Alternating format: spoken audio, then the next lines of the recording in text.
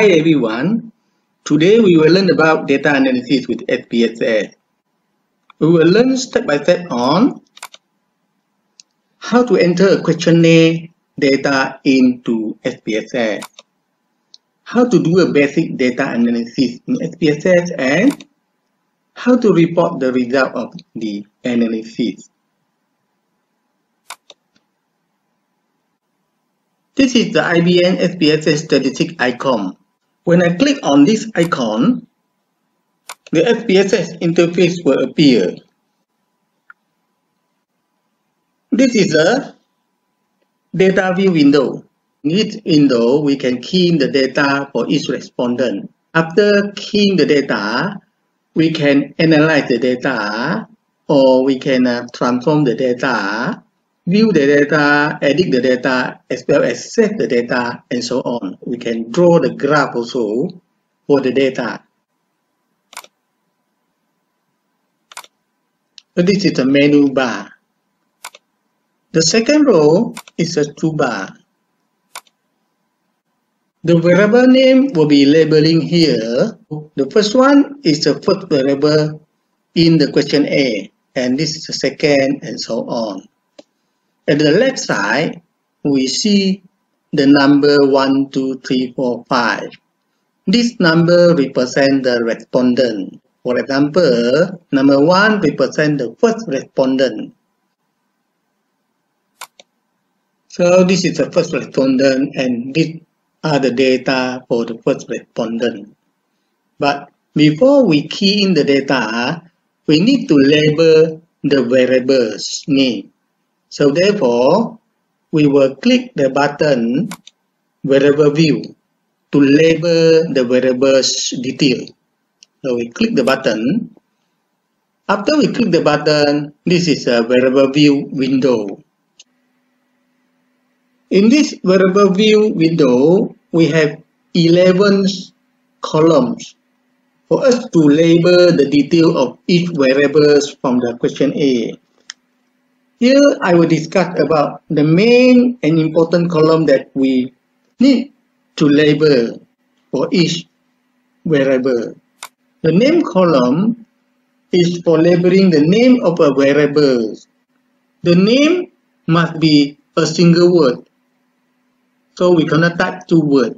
It must be a single word. Less than 65 characters.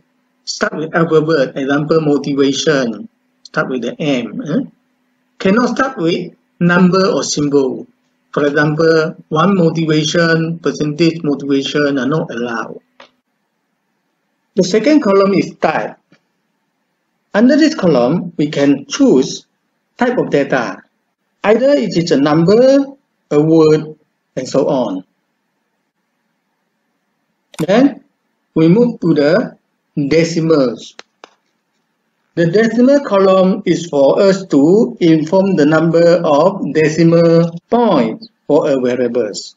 For example, 98.5 has one decimal, so we can choose number of decimal for the variable.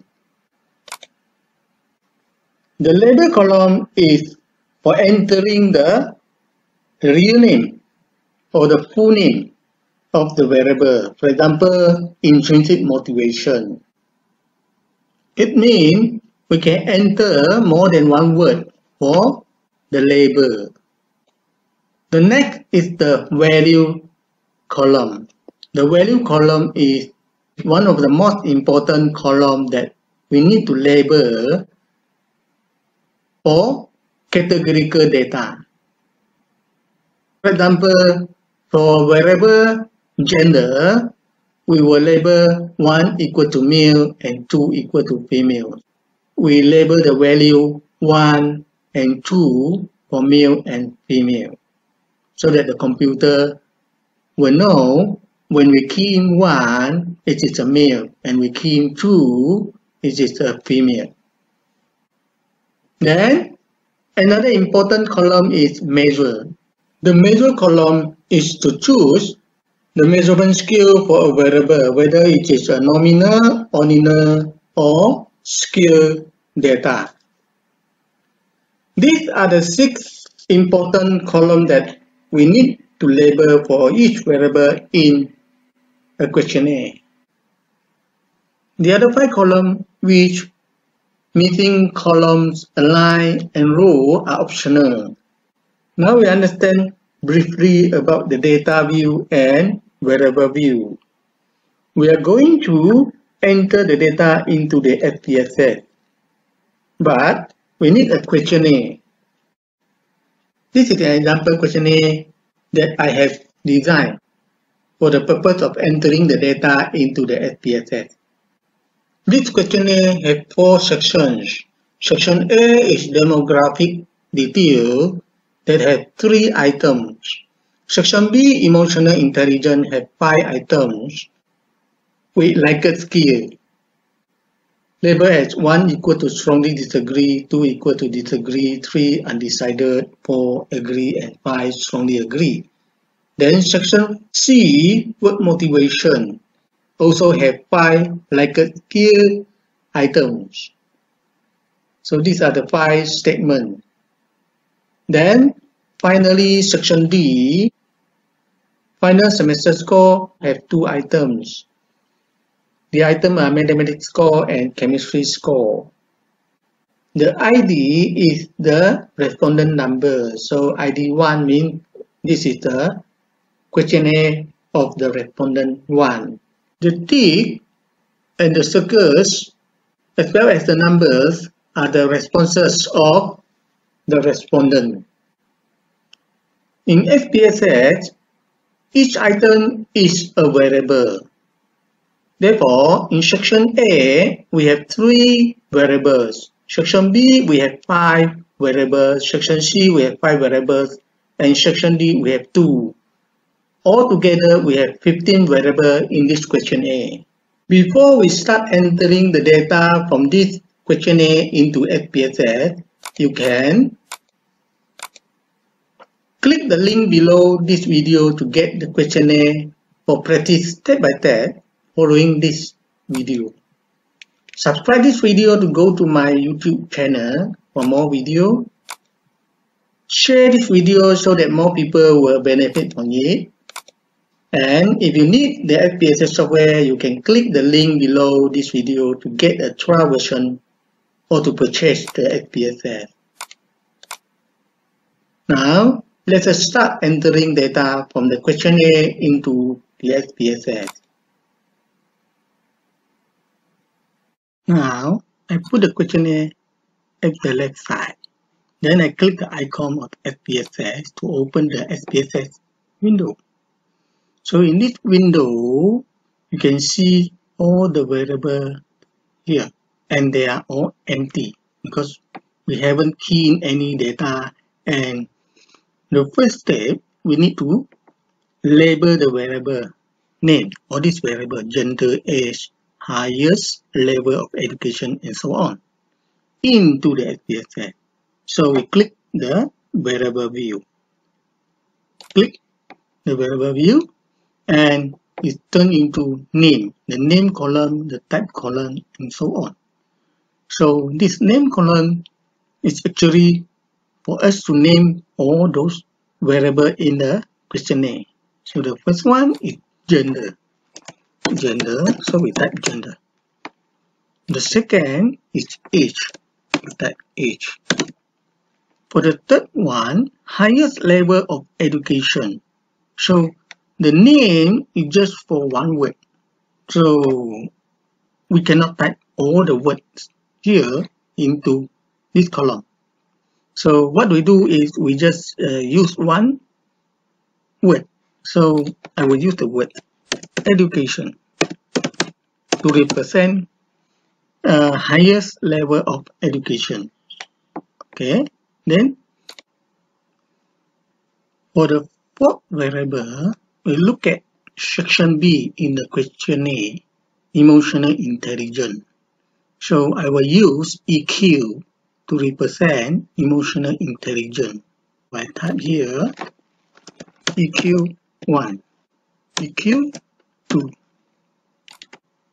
EQ 3 EQ 4 and eq 5. After this, we look at section C. Section C, word motivation have 5 items. So we use the word motivation 1, motivation 2 until motivation 5 to represent the 5 items. So we type motivation 1. We can copy the word. Right click, copy, and we paste it. Then just type the 2, click again, right click, paste, then type 3. Right click, paste, type 4. Right click again, paste, type 5. Okay, now we go to the section D. So section D, final semester score. So we have two variables, mathematics score and chemistry score. So for mathematics score, we use the word mathematics. So we type here, mathematics. And for chemistry, we type the word chemistry. This is what we learned about the name column. Type only one word for each variable. Do not start with number examples 1 gender 2 age. Do not start with symbol example percentage gender dollar age head, hashtag education and EQ and so on.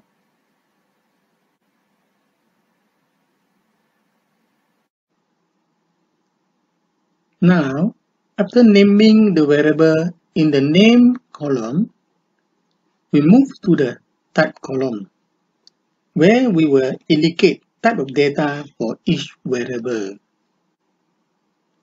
In this question A, section A, demographic detail, we have three categorical items, gender, age, and highest level of education. All the three categorical items use number to represent their category. For example, gender. Gender use number 1 to represent male and 2 for female and so on.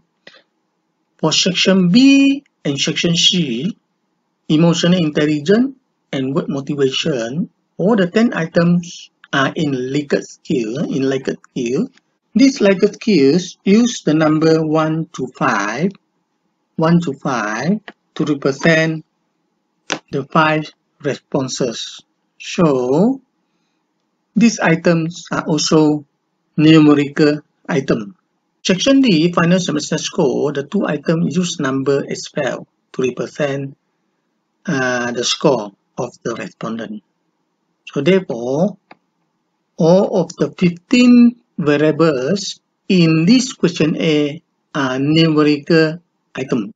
When we click the box, in the type column, the variable type box will appear where we can select any type of data type for our data. So in this case, we will select numeric. But if our data is in uh, date or dollar as well as others, then we can select one of it. For string, String is for the data in Word. So if we have the data in Word, like if let's say the gender, we want to type male or we want to type female in terms of 1 and 2, then we will select string.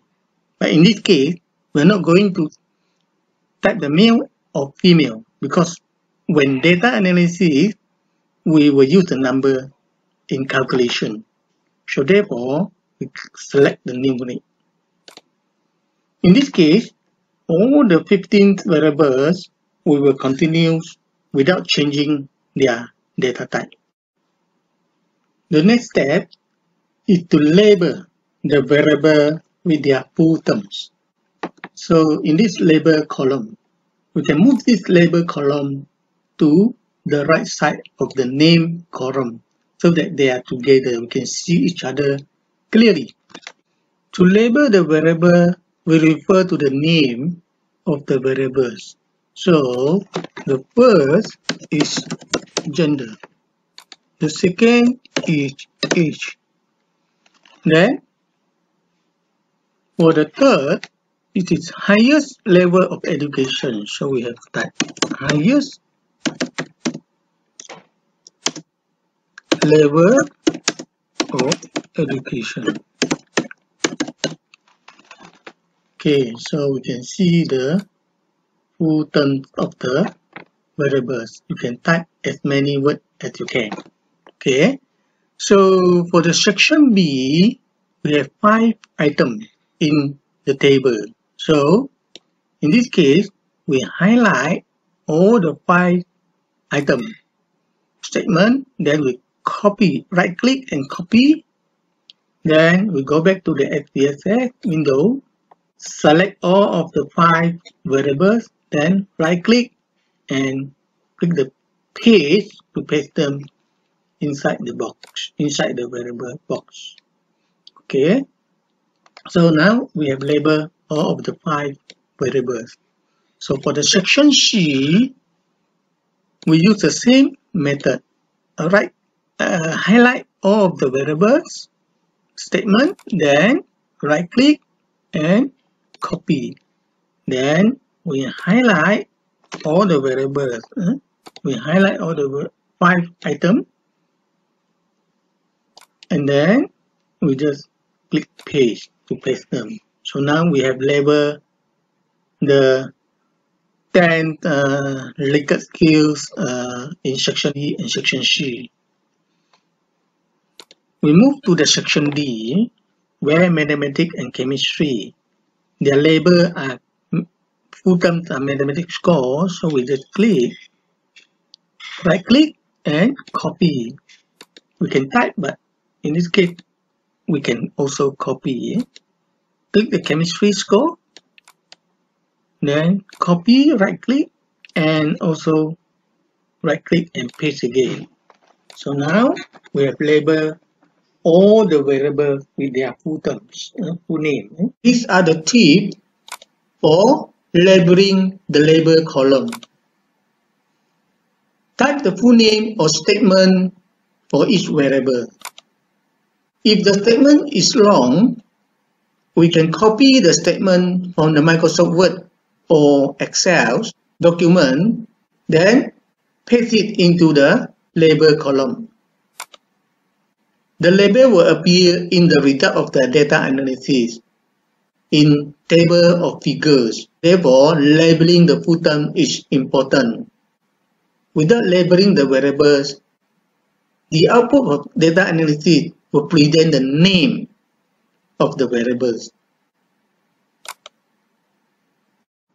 Okay, then we move to the another important column, which is the decimal.